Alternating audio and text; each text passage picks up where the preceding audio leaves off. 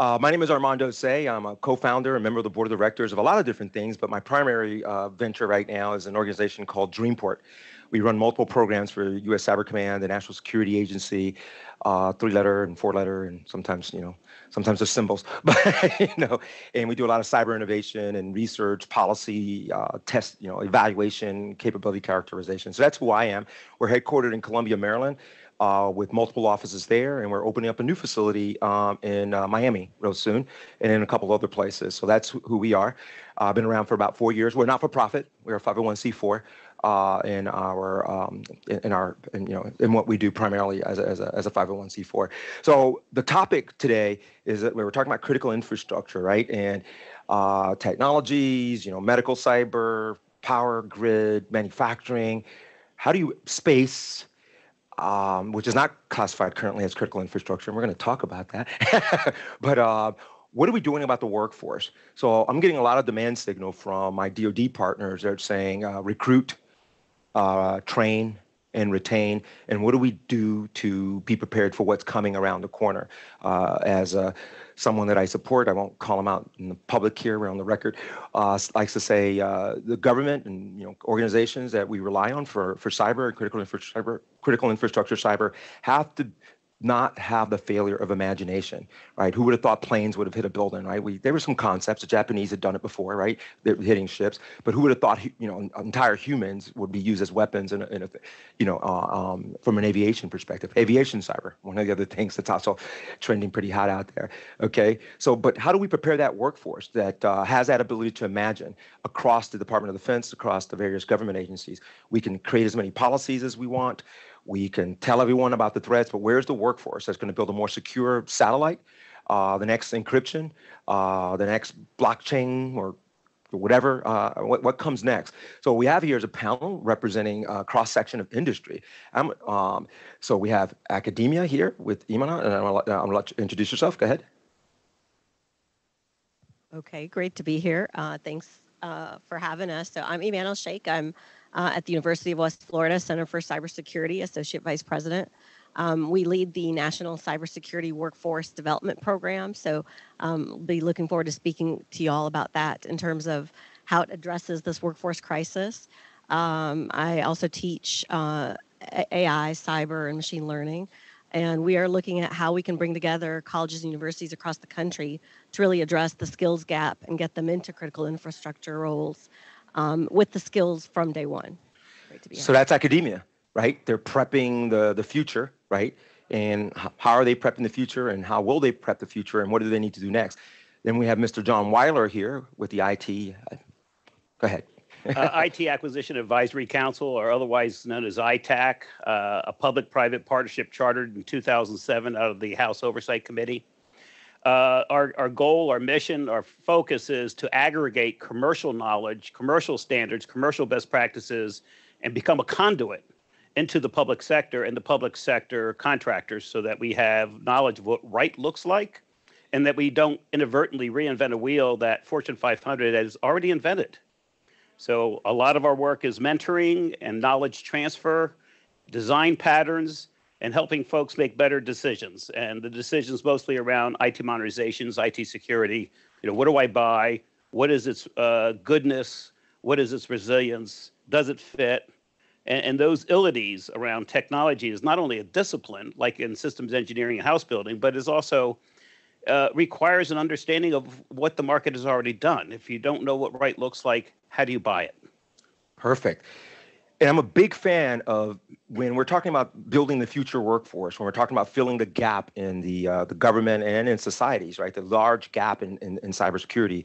And I always say cyber is like saying ocean or sky, right? There's a lot of disciplines, and we we have to really think about it in its multidisciplinary uh, categories, not just say the word cyber, uh, because you know one, my, one person's cyber is not the other, right? And and so, uh, but I'm a big fan of those of us who've lived to comb a little bit of gray hair, right? We always talk to each other. We get in, together in rooms.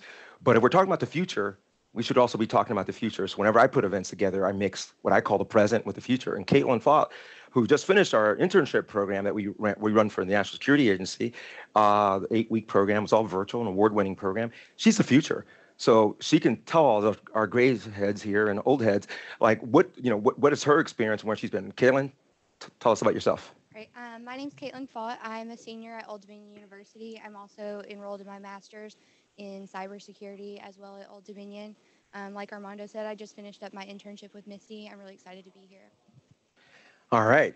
And then also talking about the future, we have Mr. Derek Eichen here from the Pentagon. I'll let him introduce himself and talk about who he represents. So good, good morning, all. This is Derek Eichen. I'm supporting the uh, Department of the Air Force Chief Data and AI Office. Our job in life is to democratize data, which obviously resides in our enclaves, cloud platforms that have entrenched cybersecurity professionals that can tend to block that. So that's what I'm here to talk about today, and how we motivate and mentor our our Caitlins and and and honestly our common info interns to grow them into the next leaders of the Department of the Air Force. Right. So we're going to kick it off, and I'm going to ask each person a question. But one of the demand signals that I know our organization um, has right now, and I think it's across DoD, is that whole recruit, train, retain mission. The reason I know it's intense because I'm seeing social media uh, from uh, posts from organizations that are normally three-letter agencies that don't normally post a lot, but in some of the areas that they are posting, just really within the last three weeks, when I became aware of what the intensity is uh, of, of them to do that, they're actually requiring. I know they require my organization uh, when we're working with them to make sure that we have some sort of academic engagement, sort of workforce engagement in whatever they do. And you'll see that. You'll start seeing a lot of social media from the our military as they get out there to try to fix this workforce problem by getting out into the public and saying, this is who we are, trying to inspire the mission. So that's one of the demand signals. And that's one of the reasons uh, the topic of this panel uh, so there's a lot of people here who can talk about all the critical infrastructures, right? But without people to protect, defend, detect, you know, you don't really have much, right? Other than a bunch of blinking lights that are uh, self-serving. So, like I said, academia. Uh, tell me a little bit about what your organization is doing. I know we work together with the CAE community, Centers of Academic Excellence in Cybersecurity. Tell me what what are your challenges and where do you think you're going from uh, uh, to, to fix this problem of a workforce, as I hear, that's mostly graduating with a concentration in IT, but not OT or IoT or space or firmware, uh, maybe smidgens of it, but not enough. And so, how do we fix that in academia, and what, what do you think is happening there? Well, we're trying to address it through multiple approaches. Um, first is the, as Armando mentioned, the National Centers of Academic Excellence community that is designated by the NSA and the federal partners. That has grown from 20 institutions nationwide to over 370 institutions in a very short span. And that's really kind of the way of keeping up with the rigor and quality for the evolving cyber threat landscape. But what we realized quickly on is that that's really not enough. No matter how many students we get into IT and cyber degrees across the country, it's not going to be enough. We have new threat landscape uh, uh, scenarios that we're learning from every day, and we need more agile, flexible ways to get um, everybody ready, get them the skills, and get them connected. Uh, and so, one of the things that we've done at the University of West Florida in partnership with the National Security Agency is launched the National Cybersecurity Workforce Program, which is a coalition of colleges and universities across the country where what we're doing is leveraging our academic programs and our training and our faculty expertise to do up, rapid, agile, flexible upskilling and reskilling training for individuals who are perhaps transitioning from military or intelligence uh, fields or who are upskilling or who are want to um, get a, more in depth into an IT or cyber role. And so that program is uh, currently in two years training over 1,700 transitioning military and first responders to specifically go into critical infrastructure roles with an emphasis on defense industrial base, energy, and financial services. And the way we're doing that is by looking at what are the emerging employment needs, not just now, but in the future? What are the types of skills and competencies that are going to be needed for work roles that haven't yet been defined, for example, in OT security, and connecting them with employers and connecting them with hands on skills and competencies so that we can not only kind of give them those skills and competencies and industry certs, but we can kind of define the way forward and do it in a much more flexible, agile way to get a lot more pi- pipelines or pathways for people into jobs with the skills needed from day one.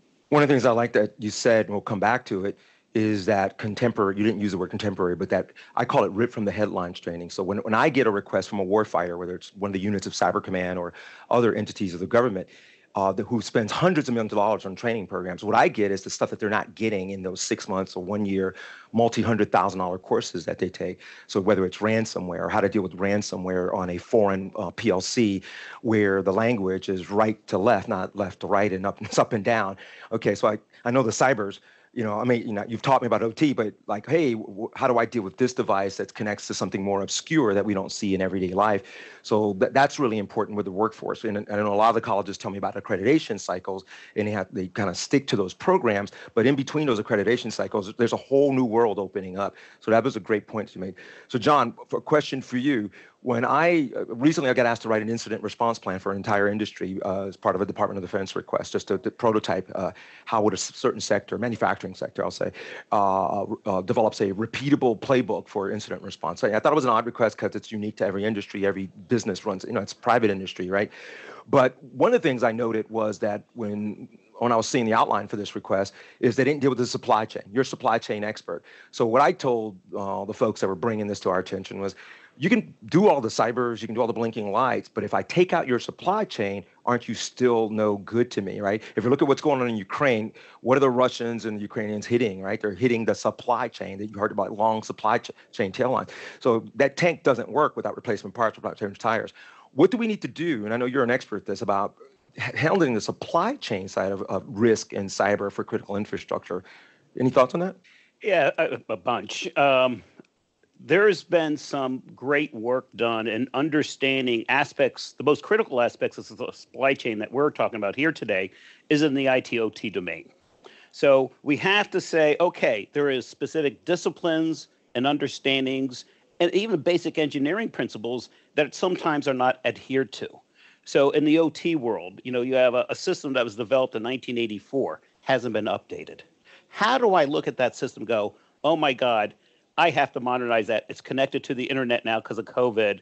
H- how do I understand what the inherent problems are in that architecture and find the best way to actually modernize and get that up to speed? Same thing in government. We have the same practice problem is how do I look at my compute, my portfolio and say, where are the fundamental weaknesses in the electronic supply chain. I have a question for you. Yes. Is the acquisition workforce ready to tackle that problem? So, how do you solve a problem that goes through a government bureaucratic Oh system for critical infrastructure if the acquisition workforce doesn't know how to write the statement of work, how to do the This- acquisition, how to validate that? A great question, and it's been a problem for 20 years. Uh, we signed an MOU with both National Defense uh, University and DAU to teach a new practice. So, first of all, we have to fix the practice. DoD is still using industrial age 1960s engineering practices because they were designed for weapon systems. IT, the digital world, requires a different set of practices, but also a different knowledge base. So we have to usher in the great work coming out of Silicon Valley and Fortune 500 in ways that it's digest- digestible. So knowledge management is back. We need it. And if you don't t- take um, a government bureaucrat and show them that this path is actually better, it's very Machiavellian. Mhm. If you don't walk with them and go through that practice several times to a real world scenario, they're, it's not going to stay retained. We, we set up the Air Force to embrace this new agile world where you're understanding how to measure risk, value, and cost of the technology that you're buying. And if you don't understand the practice and don't have the data to inform that decision making process, you will fail. I'm wondering if the government needs subject matter experts, maybe they already do it in the They acquisition shops. absolutely do. so that the, they can support the acquisition. Uh, and also, when you, one of the things that I got into, I don't know if Lucian's here in the room. Lucian, when he was at the White House uh, under under the prior administration, one of the things he and I worked on together was something called Hack the Building. Right? The idea was weapon systems, weapon systems, weapon systems. Where are weapon systems manufactured inside of a facility? Uh, you have to have certain temperature controls, certain humidity controls. So what happens if I take out the building? You know i take or uh, right I, I mess with all- the iot sensors that you know that measure humidity that measure temp you know all the things that you need to make sure something doesn't kinetically blow up right? Also uh, what happens if i turn on the fire safety systems right? In that multi-billion dollar room clean room that's manufacturing a weapon system. Everything gets wet starts to fry all your blinky light all your cybers go down right? Everybody's running out. My hair my clothes you know what you know whatever. So uh, cyber is holistic and i think like i said we have to deal with it in all its categories. And I think a lot of what we do, and I think John would, would second that, is we look at it in a, in a single container. I'm going to build a weapon system, so I focus on the mil spec or whatever for the weapon system, but I forget that the weapon system is built in a facility that has redundant power, power generators, battery backups, elevators, fire suppression systems, and all that can make, you know, and of course environmental systems, that all that can make my production or, or the accuracy of the weapon systems, or if it's biomedical, uh, pharmaceutical, like co- the super COVID vaccine, I can dilute all of those things by messing with things that maybe you're not looking at. So we talked about the future, and the future is right there. Uh, Caitlin Fott, who just finished an eighth right week program, uh, virtual award-winning program. Like I said, I have to say award-winning. You know, it's like when, when people someone gets an Academy Award, you know, it's Academy Award-winning artist. But anyway, Caitlin, um, you're well educated. Uh, you have a lot of options in your life. You're super smart. You're working on your fifth degree or whatever that is.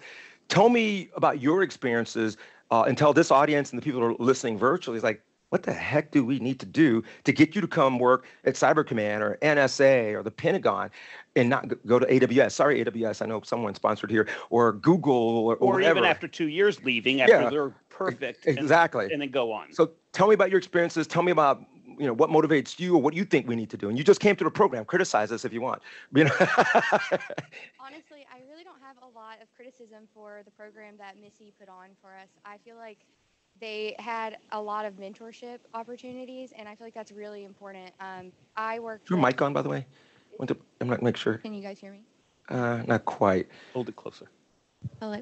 Oh, there you go. Okay. Now can we hear me? Kind of. Good? Yeah. Go ahead. Okay. So, um, anyways, like I said, I don't really have a lot of criticisms for the program that MISI put on for us, um, other than I wish it was longer. Um, I wish that there was more time because I personally worked with um, someone who guided us through something that I didn't have any hands on experience with in my college curriculum. Um, as someone who's going into a master's degree, I thought that when I finished my bachelor's, I would kind of have an idea of what was going on. And I didn't. I got into the internship, and every day I was like, I have no idea what we're talking about right now. So I feel like, as far as like recruitment goes and retention, we need more mentorship and people that are willing to teach and help people like me who I understand what you're talking about, but I have no idea how to apply what I've learned in the college curriculum and um, just a constantly changing college curriculum that could help us be more ready for the workforce, I think would be really helpful. Have you done any prior internships inside the government? Because I know some of your co- cohort members had, and they talked about being the paper shredder or the button hitter. You know, like 12 o'clock, you hit this button, and then you go to lunch, and then you come back and you hit it again.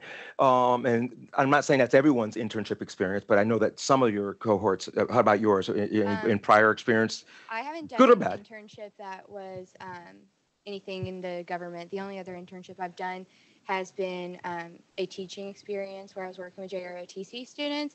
And I will say that um, the teaching that I did with these students did give them a lot of hands on. We created labs and they got to set up firewalls, really basic things because they're in high school.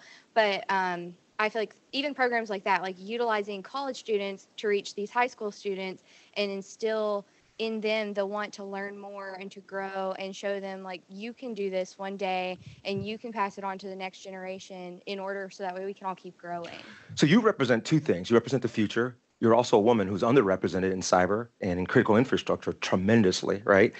And then we also so we need young people like you to go to Cyber Command, to go to INL, to, you know, to go to the White House, to work at the Pentagon. But you're going to get incredible offers. You already have. I know you already you have offers already. Um, did what, if anything, would have uh, you know connected the wires on you of doing service to the nation before going out and making a billion bucks and you know in Google World or something, right? Like what what would motivate you, even if it was two years or three years? I mean, was it anything? I mean, was you got to meet General Nakasone, you got to meet you know Mr. Inglis, you got to meet all these people in our program, right? Who are all you know that could go do and make millions of bucks in other places, right? Uh, but they're they they've committed to continuously coming back to the government or being in the government as a long career, as General Nakasone told you during his session. What would inspire people like you to help fill that void? I mean, we need the you know, the void needs to be filled. You know, whether it's this law firm in sort of cyber policy and law, but but government in particular, who has this big demand signal. Like, what's wrong with you guys? We we have the cooties, with you know the COVID. I thought we got rid of it. Um, well, I do feel like meeting like General Nakasone and Chris Inglis was definitely inspiring. And I would consider a field in, I mean, a career in the DoD after having that experience. Um, so perhaps getting out into the community more as the DoD. I know that uh, it was mentioned that they are trying to get out there and do better outreach, but I feel like that's very important as far as recruiting. Um, and again, just making it feel like I'm making a difference. And Mhm. that's kind of hard to do, especially as an entry level. I know a few people that are entry level in DoD positions, and they don't feel valued.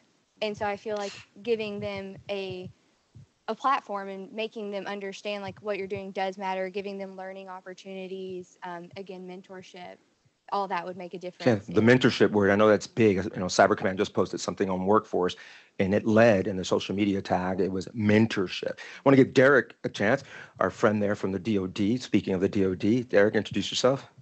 Yeah, so Derek Eichen here. Um, so I've been in industry, I've been in government, and I've been in the acquisition community. So Sorry to hear all of about this that. hits near and dear to home. But I will say I'm an innovator. I, I am exercising effective processes to deliver to the warfighter.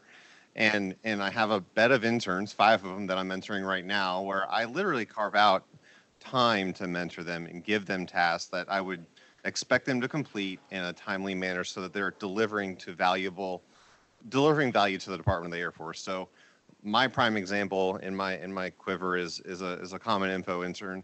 I'm not going to name him here because I know we're on the record and I want to get him onto the news. But um, I, I put a lot of time into giving him water, watering the plant, making him know what you're doing matters to the warfighter. And and what I want to enable further for for incoming civilians or incoming junior officers or even incoming senior officers is that time inside of the operational cell and getting down into a data center getting into an ops floor, getting into a deployment where they're actually defending a critical asset downrange or getting them out to a major command to hear about the issues that those senior leaders are facing on data or, or cyber challenges or cyber threats, honestly.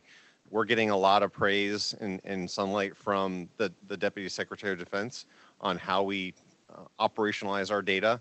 And, and that comes really in the form of how do we uh, create the attributes and controls around who can see what data and who can defend what cyber assets and critical infrastructure so that we're putting those people into the def- defensive seats where they can go and, and do that and then also also fill those cyber attack roles that that are predominantly done by the military but everything leading up to that is is generally done by a by a cyber analyst or a cyber threat assessor and then and then it's done on various different network levels which we need to get to as a department to actually fight the war the right right everyone need a PhD? Because you're technically Dr. Derek no, sir, not doctor Yes, masters Masters, okay, you're the master. Yeah. Uh, and is, you know, uh, a lot of talk with, you know, Space Command, Space Force in the last couple of months for me, as well as, uh, you know, AWS and their satellite technologies, you know, uh, you know, uh, um, uh, Tesla and their Starlink uh, and SpaceX.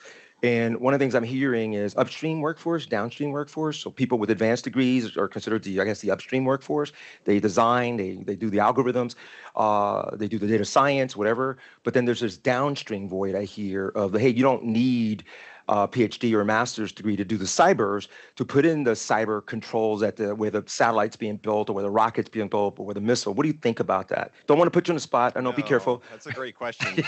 it, it takes aggressively six years to grow a PhD. Like that's aggressively in the cyber field. Wow. We don't have enough time in the Air Force or the Department of Defense or even the government writ large to wait six years for that special unicorn to come out of academia. We have to get them from their bachelor's degrees, get them into where they can affect change in the technology that is current today so that they can go back and learn a master's degree, come back to new technology. The Moore's law is Moore's law is broken. Yeah. I mean, we're accelerating technology faster than the pace of academia and the pace of of developing curriculum that that effectively arms someone coming in to do cyber defense or cyber attack. And and that's why we can't wait for PhDs. So, come out. and I don't know, John, you have a question, but one more question for you. Yeah. So, so the Department of Defense take a take a page out of the book of Tesla and Google, where they're saying, look, we have this huge workforce deficit, uh, and we focus on these, you know, triple layer interviews and sometimes four and five rounds, right, to get to that one person or two or three people that we want to hire, and they all come from these schools and those schools. But Um, we did an event called Hack the Port a couple months ago or a month ago. Time flies, but and we had a hacker. Uh, never graduated from anybody's college. His name is Sabu, famous. You know, was facing 124 years in prison. Uh, got his GED. Okay, he started hacking at age 12. Okay, uh, hacked into CIA, most of the major banks, uh, on and on and on, which is when he, when he got caught, why he was facing, you know, a, a perpetual lifetime worth of prison. Um, he was born this way, right? He got up, he had the passion, he had the curiosity, he had the interest, and he organically developed. And then he went into groups with uh, like-minded folks with the same skills. Does the Department of Defense are they looking for that? I know you don't speak for for them. Is that a, a formula that we need to complement the Caitlin's who's getting her master's, and you who have a master's, and Dr. Eman who has you know, PhD, and so on and so forth? Do, do we need that in betwixt combination there? And is there a program for that? Because because isn't that how we kind of fix part of the deficit that we have?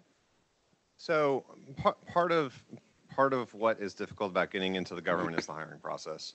Um, once you're interviewed, it could be three months before you even get a hey, here's your offer. By that time, kids are looking for a new apartment or a, or a new place to stay, and and their li- their facts of lives are changing at, at at a faster rate than the machine is getting their Hiring process. process is terrible. Um, so to, to me, that's that's the biggest area where we could improve the onboarding of civilians, um, whether they be ops researchers, data scientists, cybersecurity professionals. That that that challenge is is rife, and then allowing for substantive education and experience to fill in for that talent. Um, I have been denied positions because I failed to give a transcript that documented my 24 hours in ca- credit hours in calculus. Uh, that's probably an organization that I don't want to go work for. Um, and I'm not going to name the organization. Yeah. Deny me that position. But when I take my interns in, I look at their resume, I assess their skills. I don't really care so much about uh, about their lack of experience because it's not going to be the same in the Air Force. I need to be able to know what tasks I can give them on Mhm. day one, where I need to grow them on DoD processes, which which are boring in Manila anyway, and then no, letting them know where th- this is actually what really matters here. You just read through a litany of DAU slides, but this is actually where we fit, and and and this is where That's you can really drive home change and deliver to the warfighter while they're a pack with me, and and and and and and they they take that Right. really really really really well, and then I always approach any civilian in my workforce, they're going to leave. They're going to go somewhere else, whether it be AWS, whether it be another company in Silicon Valley, and I want them to leave my my my my organization as a value add to any other organization. My goal in the chief data office's goal is to make make the make the Department of Defense successful in the data arena and AI arena. We- We're not going to do that as a 19 person shop. They're going to go out and do other things and have to go work with other offices and be credible individuals. And and and I plan for them to leave, and I'm, I'm going to give them as much mentorship and education, and opportunity to succeed or fail through that time. I would say the Department of Defense needs more people with your attitude because well, we see that in our internship programs when we are doing our selection process. When I'm going to try to get you to be one part of our selection committee. Uh, uh, get a, you know, uh, what I notice is everyone focuses on the on the give me the referral, give me the, the GPA, and what we've learned is there's some freaky things that you find when you interview a, a, a really smart kid. It's like, well, that that's the next axe murder, even but with a 4.0, right? You have to interact and you can't exclude people just based on GPAs. We've seen people with, you know, um, with lower GPAs that are brilliant. They're just they learn differently, right? They're going through school because they're, you know, they're being asked to. It's the right thing to do. They should go to school, but they struggle. But yet they're brilliant in an unstructured apprenticeship model. And appre- apprenticeship can be a dirty word in most states because it's heavily defined.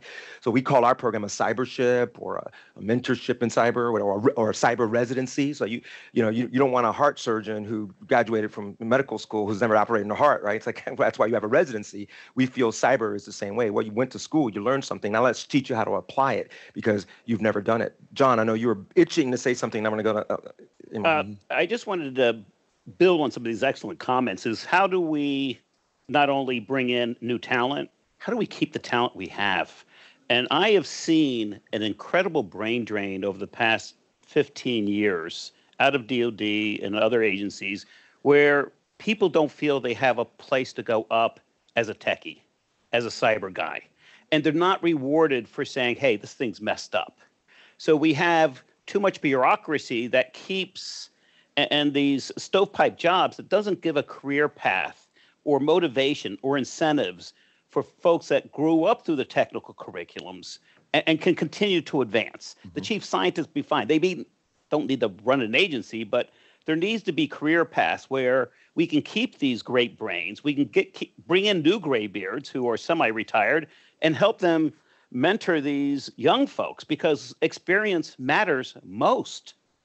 I'll tell you something that comes through our facility quite a bit is the um, overclassification. So our facility is mostly unclassified. We do have classified spaces. That is an important Right. issue. So a young person like Caitlin or some of the students that, you know, uh, Eman here is graduating, when they go into that internship and say, wait a minute, you want me to innovate. Let's use innovation as an example, but I can't click here. I can't download that. I can't get to this site. I, I can't talk to this person who's not in this building. Uh, I can't even use this phone uh, to have that conversation. I can't even say who I am. How the heck do I innovate at the speed of the adversary when you're saying innovate as long as you do it inside this box and don't talk to these people? And yeah, you can't click on a bunch of things, okay? Uh, and then you can't talk about what you're trying to solve. Okay, whoa, that's a great way to innovate, right? So we were designed as an unclassified facility. Um, and I don't know, there are different people who will debate what percentage of the problem set in the intelligence community and the DoD is actually classified. Some people will say it's only about 20% of it, right? Some people will say 30%. The rest is the same, plain old vanilla stuff that's accelerating private industry in Silicon Valley. It's I need a VMware, I need a VI, I need multi-factor, I need encryption, I need you know racks of storage and compute power. None of that's those all that's commercial. The Department of Defense doesn't invent those technologies. They have certain Correct. things that they do invent, but most of it they did not, right? So how do I I find that as a problem with workforce. We're going to keep people like Caitlin and, and people like Derek engaged, give them the power and the tools to say, when I'm over here, yeah, I'm not going to talk about it. I'm going to put it in a box and I'm going to keep it there. But for me to be able to do this thing, I need to be out here and I need to talk to everyone unfeathered. Okay, as long as you know it's not maybe China or Russia, but whomever. Maybe you still want to talk to them. You can flip them, right, to tell you about a secret. Uh, but so we find that's one of the things that I've noticed is a challenge to workforce development and workforce pipeline building is. You know, not only that, it takes eight or nine months to even get through the process. If you're lucky, right? If, if you're at the SCI level, oh, and the polygraph, oh my God, Jesus.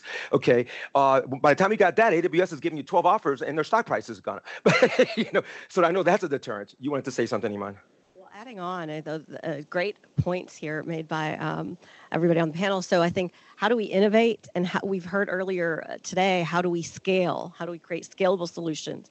Um, and how do we keep it all outcomes focused as well?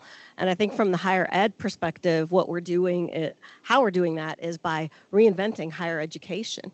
Um, we heard about how acquisition processes are behind. Uh, you know, higher education's behind, right? How do we expect to, if we look at currently, the data shows there's over 600,000 unfilled cyber jobs, and that's I think a low estimate because there's a lot of jobs that aren't technically classified as cyber, and that number is going up, so it's going in the wrong direction.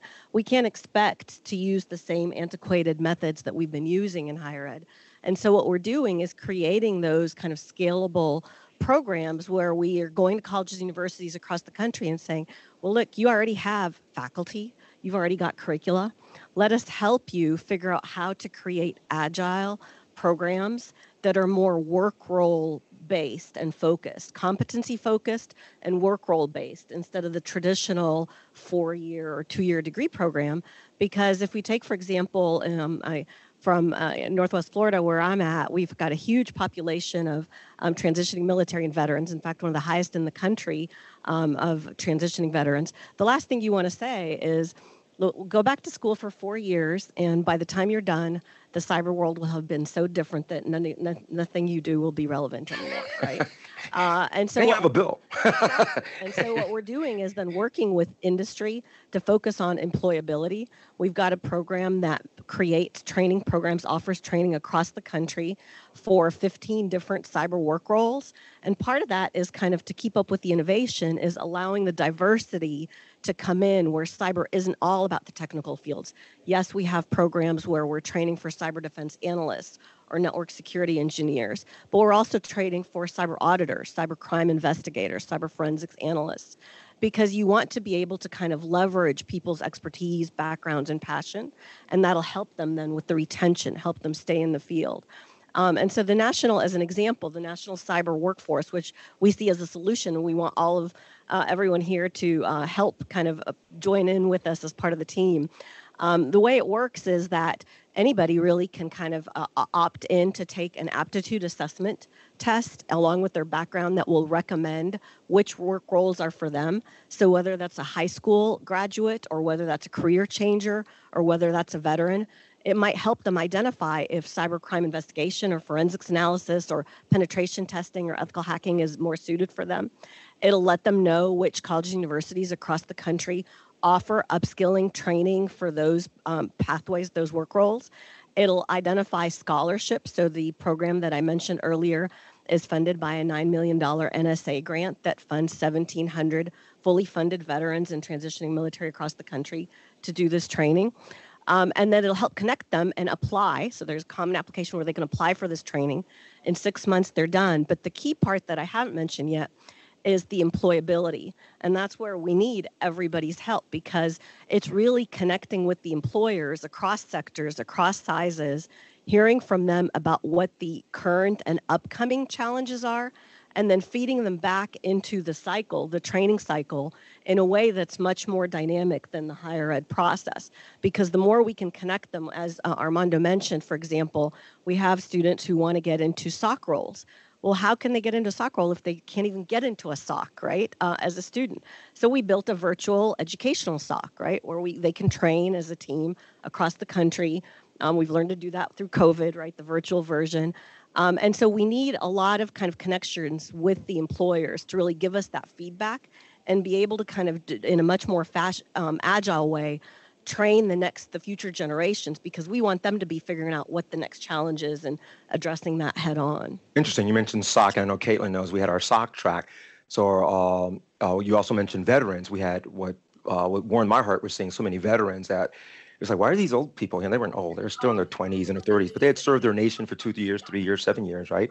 Uh, and now, scholarship for service, the CYSA, they were earning their degrees, right? And we found that to be uh, amazing uh, you know, uh, th- to see that that they gave service to the nation. Nation was allowing them to get their education. You know, something's doing feedback here, uh, but um, but that was important.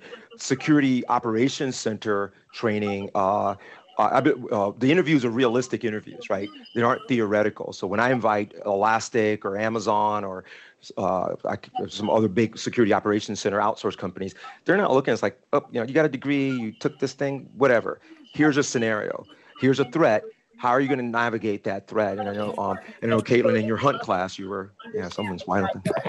coming from there. That's another room is feeding.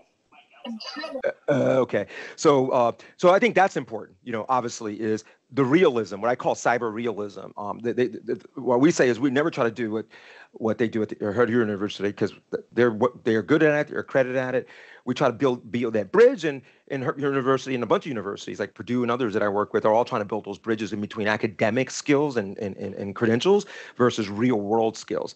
Okay, and I think that that's important uh, as well because um, I, I see a lot of students from around the country. I don't care what school because I review all the curriculums. I go, well, why did Johnny is still in his old bedroom looking at his prom pictures when he just spent four years of dad and mom's money and to go to college? It's because Johnny can't pass an interview. Right? He can't pass the three rounds of questions from Amazon or Google that are technical in nature. It's like everyone that we're interviewing has a degree. Get over it. I want to know what you can do. How do you get that young person or that uh, that veteran to articulate what they can do? I know I work with a lot of veterans who who are have struggled to translate their resumes into the English of industry, right? They have a lot of acronyms like, yeah, no one's going to understand what that is, dude, you know, or young lady, uh, you're going to have to change that into English. And so we sometimes we spend a lot of time mentoring them with that resume. Hey, this means cloud. This means you were doing threat hunting. This means you were doing, you know, uh, forensics or, or, whatever that is, right? Get rid of all that military, you know, mumbo jumbo. Um, so that's one way we get the military back into service. I know you, you, and, and some of the counterparts in your office. You were in industry. You're doing. I'm, I'm sure you're, you're you can make a lot more money being back out in industry, but you're you're you, you came back, right? You, you you came back as some of the people that I know in your office came back to service to the nation. That is incredible to me. I know because I know what you guys have given up. I've talked to some of them about, oh, that's you still have that house because I don't I don't know if you can swing it on a DOT salary, and they're like, well, that's service to the nation. I put some you know some some squirrel nuts away or whatever. John, you want to say something? Yeah, you you you bring up a, a great point. I mean, we do have a humongous deficit in government and DoD in particular around tech skills here. Um, and the hiring process is a problem. Maybe we need uh, like an HQ, a highly qualified expert program for not only the interns but the graybeards, so they can come in and help. Either come in and learn and stay, or come in and share knowledge because they've been there, they've done that, they've made their millions of dollars. And I, I can't tell you how many times I've run into folks saying, "I'd be willing to come if it wasn't such a pain in the Hmm. Right. To get, to, get to, go and go through the process. So the, the process of onboarding, whether it's permanent, maybe we need something more temporarily that doesn't require the two year, I'm, I'm exaggerating, process. Right. It, it just, you say jobs at Gov, right? That's at least a year before you hear from them, right? It, we need, we need to improve this. Yeah. You know what I mean? So you, you mentioned something. I'm going to put another thing about mentoring a lot of people don't think about, which is why Caitlin's here. Um, I ran a program last summer for the Marines, MARFORCYBER. It was Marine civilians. It was uh, offensive cyber Marine, Marines, obviously from MARFORCYBER, and it was college students from Texas A&M, which is one of their recruitment schools. I thought it was going to be really weird, right? You had you know civilians that were former Marines that are now coming back as civilians. Mm, they weren't really strong in the cybers, right? But they were there to become stronger in the cybers. You had the warfighter, 8, 9, 10, 15 years with hitting targets, going out, you know, on joint missions or whatever. All right, they know the cybers. Um, maybe they're maybe they're good. They're going to get frustrated by the people who don't know the cybers. And then we had the college students who were like, "Oh, I got theoretical and I don't know much." But within literally two weeks of this 20-person cohort that was physical, even during COVID, it was actually physical. They, everyone drove in from Texas, and and the Marine, the local Marines came in to participate. What I noticed was the young people mentoring the 10 or 15 year cyber warfighter, uh, saying, you didn't do electrical engineering, did you? I'm like, no, you know, I, I know how to shoot, I know how to write malware.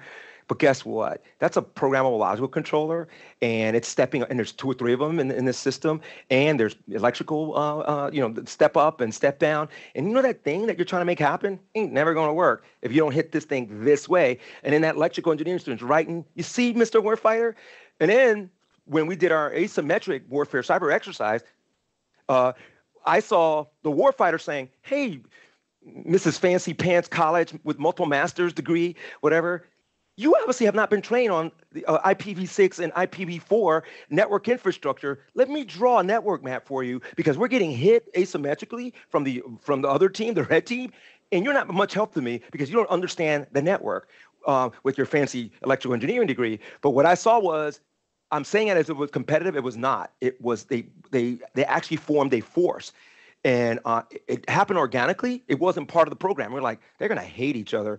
With everyone applied their strength because we did ransomware, we did firmware attacks, and they were like. The electrical engineer taught the warfighter about electrical engineering, the, the, the master network, the malware. When we had the um, the um, the malware exercise, the ransomware exercise, not that many people knew how to get to the keys, what were the right keys, how to decrypt, uh, none of that, right? Uh, it took every single element of that team that they formed to do that. So it's, it, it is the mentoring ca- can happen both ways because if you've been in government for 32 years, like some of the people I work with, not to insult anyone, it's like, well, what do you really know about the about the real world? How much have you missed?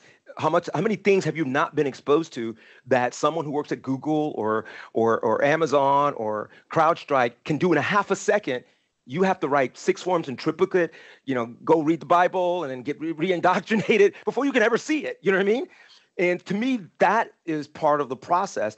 And so mentoring is bi-directional because there's something we can learn from the next generation, such as Caitlin, you know, because she's learned things that maybe, you know, someone with 32 years or someone that spent a good portion of their life in the military does not know.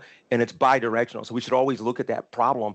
And maybe that'll help with retention, where someone like her doesn't go in and it's like, I'm the young one, I'm the woman, I'm the, the you know the minority statistic in cyber, uh, and they're going to treat me like that. Okay, when it's like, wait a minute, I probably know some things. If you just listen to me and let me tell you what my experiences are, I can help you think out of the box because I didn't live in the box. I mean, you know, you're, I'm, I'm, I'm, i took a job to be in the box, but I can think out of the box because I don't have 32 years of being in the box.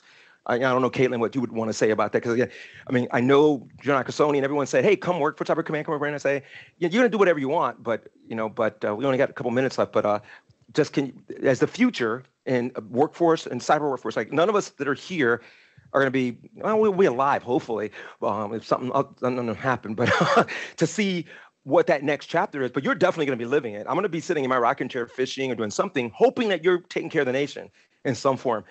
But how do we get you there? Any more any more thoughts on that? Um, I will say I I have lived the experience of having someone that is in the DoD tell me there's absolutely no way that you can do this, and um, I obviously took that and I was like, oh, we'll bet. But not everybody's going to have that that reaction. For some people, it's going to be very discouraging. So I definitely agree that like it needs the conversation needs to take place both ways. Like I feel like the DoD, especially people that have been in for a long time, need to be told perhaps you know like for lack of a better word they need to be told you have to listen to this person because they do know what they're talking about and so i feel like accepting that maybe our experiences although are different than yours that they are valid and to wrap up, one thing that kind of sticks in my craw as I talk about different critical infrastructure areas, it's all critical infrastructure. It's all interrelated. So if I do something that's call hack the port, doesn't mean I'm, I'm not worried about the facility. It doesn't mean I'm not worried about 5G, which is telecom. It's not doesn't mean I'm not worried about rail because there's a rail system that runs through that port. It doesn't mean that I'm not worried about aviation because there's an airport over there that the goods that just came off that ship are going to go to, and it all supports the warfighter in some form or another, or our, our ecosystem that allows our society to work. So I think sometimes over categorizing everything, putting things in boxes, which is traditional in our life and in our world, limits how people think about it because we're always discovering that thing like all the Space Command and Space Force people are telling me, like, who's talking about us? We're the Guardians. like, but who's going to help the Guardians guard the critical assets? And like I always talk, and people have taught me, space, which you're connected to, it starts on the ground if you're going to do the cybers, you better figure it out on the ground in the manufacturing and your chip supply, your firmware, uh, before it ever before you ever launch it into space. Because once it's up there, that's a different challenge. Would you not agree? And how do we help Space Force and Space Command figure that problem out? Yeah, so I completely agree with Caitlin here. Nothing. There's no policy. There's no decision maker that can just say no anymore. That they, just aren't. I mean, they're going to say no at first blush, depending on your rank or who you, who sent you their way but if it's if it's a ranking grade thing, that that that can be worked through. Um, if it's a law or or a discomfort with something, it's more about educating them on them why this is okay or who else has done it in their community that they can trust and linking those networks up. So um, there's really not much that we can't do in the cyber domain or in the in the in the democratization of data domain or implementation of AI domain, but we need to make sure we're doing it responsibly and ethically. And that's a big point that I'm trying to make about being here for responsible AI implementation, and then knowing where we're putting that and what risk we're carrying by putting that AI technology somewhere in our critical infrastructure. I'd be fired if I didn't say that. Here. So, um, don't you to get fired. not, not to say that's a big point that we're trying to drive right. home. And then also, um, who is the true risk assessor on merging data or merging cyber infrastructure, and who is that actual decision owner?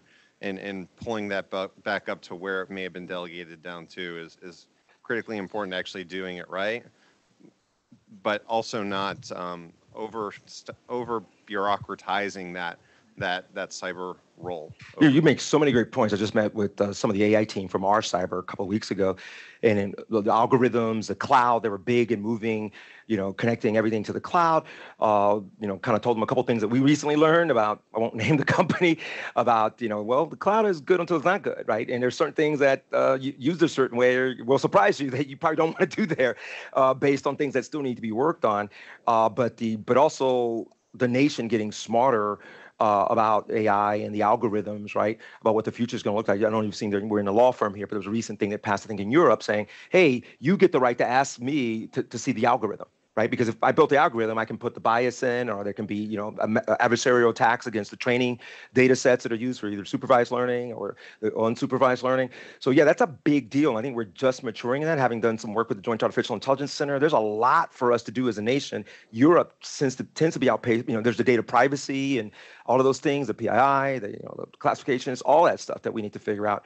But with that, I'm going to end, and I'm going to thank you guys one- John, real quick. One last point. Collaboration is key. There is a phenomenal source of knowledge around these nonprofit communities, the standards bodies. They embody the knowledge of Fortune 500 in Silicon Valley. If you're not working with them, you're missing an opportunity to learn. And I'll close with this. It's all critical infrastructure. If you ignore one, you're going to get bit by the other. I mean, it all interconnects, and uh, we see it all the time. You know, medical. You know, it's all. You know, the grid, satellite systems. Your phone is going to work. Your GPS, your computer timing is going to go off. Your navigation systems on ships. It's all interrelated. And when we're looking at the problem, we need to look at it in a global setting, not in an isolated. Hey, I'm in the grid, so I'm not going to worry about the facility. Okay. Well, I'm in the facility. I'm doing facility cyber, and I'm not going to worry about the network. I do weapon systems, so I don't care about any of it except my weapon systems. It's all interconnected, and the adversary goes to hunt where we're not looking. So we, we're pretty good about publishing all of our standards. They're pretty good about reading them. you know, so uh, you can come in with many standards as you want. They're always going to find a way to punch a hole into that. And with that, I'm going to end. I'm going to thank Bryson and this incredible event. Uh, it's phenomenal. It's my first time here. Thank you. Uh, you know, he's smart. He's prescient. He's a savant. Thank you.